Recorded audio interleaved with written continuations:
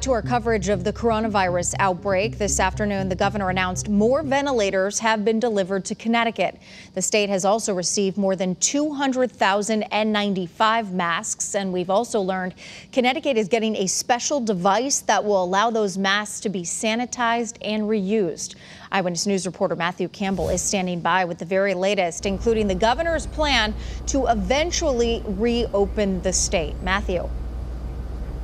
Yes, Aaron, Governor Lamont spoke with the governors of Delaware, Pennsylvania, New Jersey, New York, and Rhode Island, all discussing what it's going to take to reopen and possibly when and how this is going to look like. Now, this is what we know right now. You know, this is still very much a work in progress, and for Connecticut, it's going to be very tricky because when we look at our numbers, it's the metro areas that are seeing the most cases. Counties like Fairfield, New Haven, Hartford, they're seeing the most. Counties like Litchfield, Windham, Tolland, the more rural ones, really are not seeing that many. So Connecticut looks a lot different from New York, where so many cases are concentrated right there in the city. So when it comes to reopening, we're likely going to take a different path. And we wanted to know what this is going to look like and what type of criteria could be used. This is what we were told.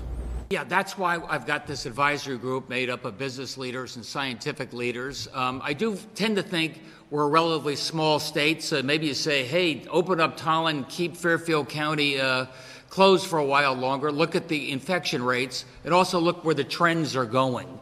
And uh, you know, if everything's opened up in one county, closed in another, you may, in, you know, incent people to travel back and forth across the state to buy things or go to a restaurant. And none of that is any good for what we're trying to accomplish.